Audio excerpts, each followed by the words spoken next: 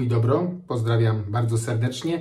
Dzisiaj chciałbym zachęcić Was do lektury pewnego dokumentu, który ostatnio e, ujrzał światło dziennie w Polsce.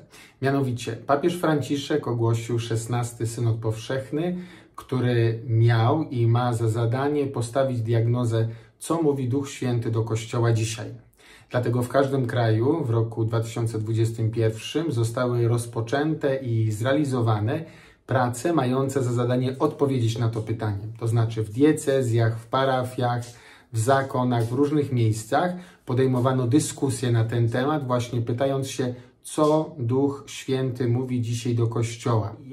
Powstała taka synteza tych wszystkich dokumentów. Konferencja Episkopatu Polski poprosiła wszystkie diecezje o przygotowanie takiego materiału, który zbierałby te wszystkie prace, które były dokonane w diecezjach, i to wszystko zostało przesłane do Konferencji Episkopatu Polski.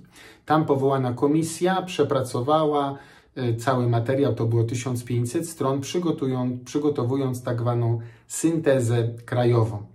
Czyli ukazała się synteza krajowa synodu 2021-2023, ponieważ ten synod jeszcze trwa. Dlaczego wydaje mi się, że ten dokument jest taki ciekawy? Mianowicie, dotyczy on kondycji Kościoła katolickiego w Polsce. Zostały e, zebrane wszystkie te materiały, os relacje osób świeckich, duchowieństwa, wszystkich, którzy brali udział w tych pracach i przygotowaniach. Mianowicie odpowiedzieć na pytanie, jakiej kondycji jest Kościół katolicki w Polsce.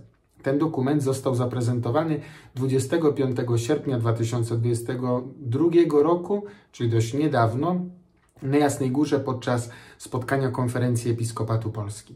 Podczas prezentacji tego dokumentu przewodniczący Episkopatu, ksiądz arcybiskup Stanisław Gondecki powiedział, że ten dokument jest bardzo poważną krytyką Kościoła katolickiego, ale w odróżnieniu od krytyki, z którą spotykamy się w mediach, nie jest motywowany nienawiścią, a miłością do Kościoła.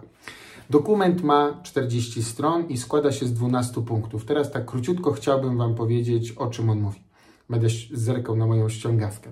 Pierwszy punkt to nadzieje, lęki i obawy, czyli jest mowa o tym, jak cały synod w Polsce przebiegał, te prace synodu na poziomie parafialnym i, para, i poziomie diecezjalnym. Później następne pięć punktów dotyczy tego samego. Są to następujące punkty. Pierwszy mówi o spotkaniu, drugi o towarzyszeniu, trzeci o słuchaniu, czwarty o zabieraniu głosu, a kolejny punkt piąty, który w kolejności jest szóstym, bo te pięć punktów mówią o tym samym, to dialog. Jaka jest konkluzja tych wszystkich pięciu punktów? Słuchanie, towarzyszenie, spotkanie, zabieranie głosu i dialog. Mianowicie konkluzja jest bardzo poważna. Jest taka. W Polsce niestety Kościół jest wewnętrznie, można powiedzieć, podzielony na dwie rzeczywistości, które niestety mają z sobą mało do czynienia. Jest bardzo poważny konflikt, problem komunikacyjny. Jedna to jest rzeczywistość, która się nazywa kler, to są biskupi, to są księża, a druga rzeczywistość to jest rzeczywistość osób świeckich w Kościele. Jeżeli chodzi o spotkanie, o wzajemne towarzyszenie sobie, zabieranie głosu i dialog, to widzi się tutaj bardzo poważny problem. Jest wysunięty w tym dokumencie bardzo poważny zarzut odnośnie do kleru, o którym jest mowa, że zasadniczo niestety nie słucha, żyje w swoim hermetycznym, zamkniętym środowisku, w swego rodzaju bańce środowiskowej, do której nie ma kontaktu. Jest mowa, że księża głównie zajmują się realizacją jakichś planów duszpasterskich, które tak naprawdę nic nie mają wspólnego z rzeczywistością. Ten dokument jest swego rodzaju diagnozą lekarską. Dlatego dość poważnie skupia się na brakach, a nie na tym, co funkcjonuje dobrze.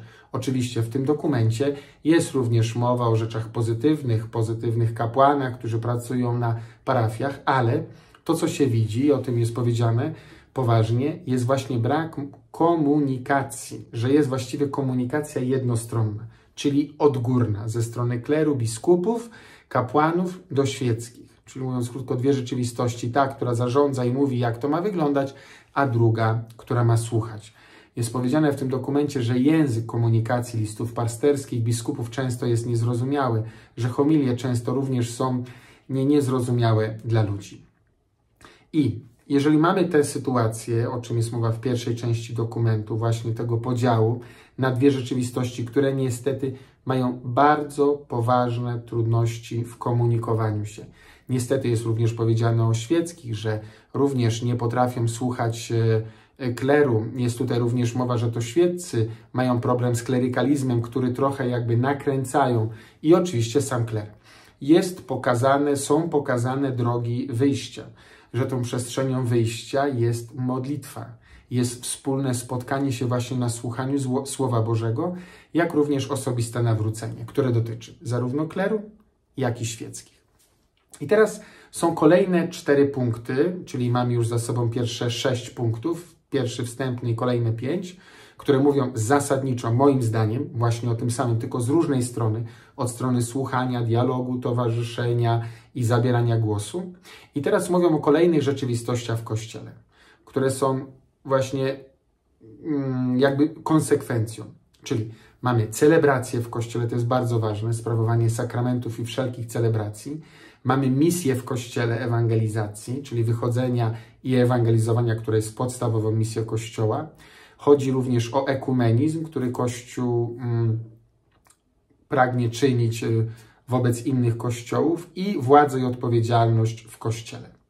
I teraz, o ile właśnie w tych pierwszych y, w sześciu punktach, gdzie pięć właśnie mówiło o, tym, o tych trudnościach, które istnieją, dwóch rzeczywistościach, które się nie rozumieją, zostało to zdiagnozowane, że taka rzeczywistość jest, to tutaj właściwie mamy logiczną konsekwencję. Jeżeli jest taka rzeczywistość, to w kościele tego rozdziału pomiędzy klerem i świeckimi, to teraz, jeżeli przychodzi do celebracji, to w sposób naturalny ten rozdział również będzie miał miejsce, czyli celebracje nie będą wspólnym działaniem, a znowu będą rzeczywistościami odseparowanymi.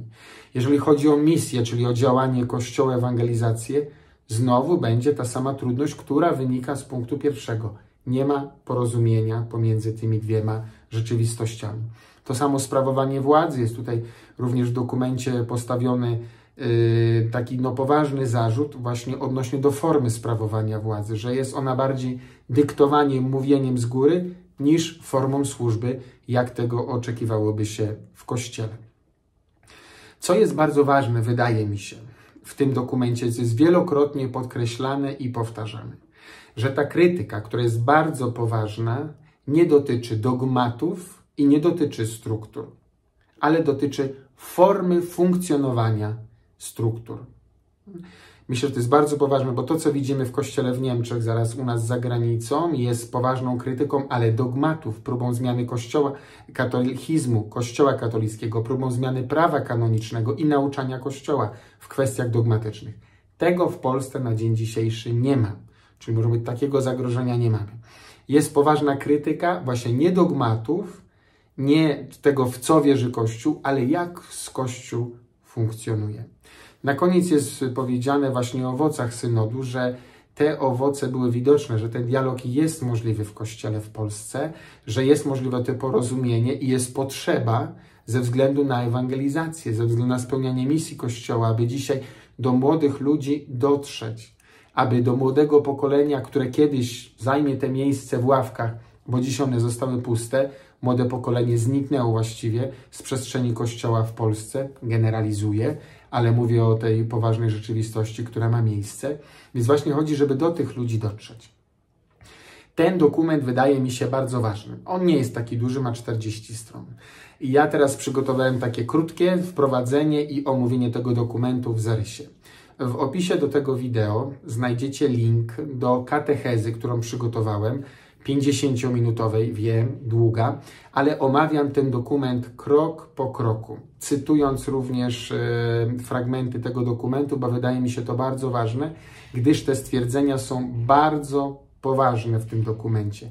To nie są moim zdaniem zarzuty, to jest diagnoza lekarska pewnej choroby, z którą mamy do czynienia, która daj Boże, żeby wziąć odpowiednie lekarstwa, żeby została uzdrowiona. Nie chcę tutaj przedstawiać rzeczywistości Kościoła w czarnych kolorach, ale Kościół w Polsce katolicki zmaga się z pewnymi wyzwaniami. I ten dokument o tym w sposób poważny mówi. Zachęcam więc do osobistej lektury dokumentu. Te 40 stron w opisie do tego wideo również znajdziecie link, na który klikając można ten dokument z internetu sobie pobrać i przeczytać. Jak również drugi link to jest właśnie 50-minutowa katecheza, w której omawiam cały dokument. Zachęcam z miłości do Kościoła, z miłości do Jezusa Chrystusa, naszego jedynego Pana i Zbawiciela. Pozdrawiam was, was serdecznie, życzę dobrej lektury bądź dobrego, cierpliwego słuchania kolejnej katechezy dotyczącej tego dokumentu. Pokój i dobro.